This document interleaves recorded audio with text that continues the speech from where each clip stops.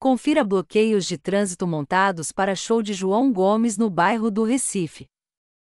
Bloqueios começaram às 4 horas desta terça e devem se expandir conforme circulação de pessoas nas vias. Assisto agora, em Últimas Notícias. A circulação nos acessos ao bairro do Recife foi modificada, na madrugada desta quarta-feira, 17. As alterações ocorrem por causa do esquema de trânsito montado no entorno da Praça do Marco Zero, para o show de gravação do DVD do cantor pernambucano João Gomes. As primeiras alterações começaram às 4 horas, de acordo com a Autarquia de Trânsito e Transporte Urbano do Recife, CTTU. Os pontos de bloqueio e interdições vão requerer a atenção dos motoristas e pedestres que transitarem pelas pontes, ruas e avenidas que dão acesso ao local do evento, que começa às 17 horas. As ruas Vigário Tenório, Álvares Cabral e a Avenida Barbosa Lima Sobrinho, no entorno da Praça do Marco Zero, ficam interditadas para a circulação de veículos. Veja vídeo abaixo. A previsão é de que a Avenida Alfredo Lisboa seja bloqueada ao meio-dia.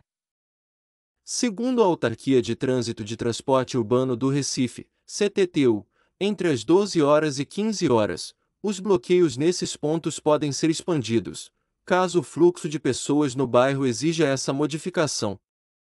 Caso o fluxo de pedestres se intensifique nos pontos de acesso aos bairros, as equipes da CTTU estarão posicionadas nas pontes Maurício de Nassau, do Limoeiro, Princesa Isabel e Rua do Imperador. Confira os pontos de bloqueio. Já na Rua Madre de Deus, no Cais do Apolo e na Avenida Martins de Barros, haverá circulação, segundo a Prefeitura do Recife. Para os motoristas que estiverem indo na direção da Zona Sul, a recomendação é seguir pela Avenida Governador Agamenon Magalhães. Agentes e orientadores de trânsito ficam na Avenida Alfredo Lisboa fazendo monitoramento do fluxo de veículos, caso necessário. Realizam o bloqueio da ponte giratória, com desvio para a Avenida Martins de Barros.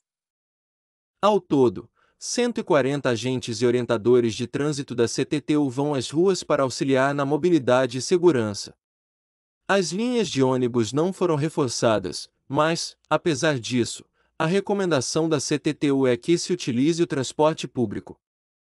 Além disso, segundo o gerente de trânsito André Luiz, devido à escassez de vagas de estacionamento. O público que for para o evento deve dar prioridade para a utilização de transporte por aplicativo ou táxi.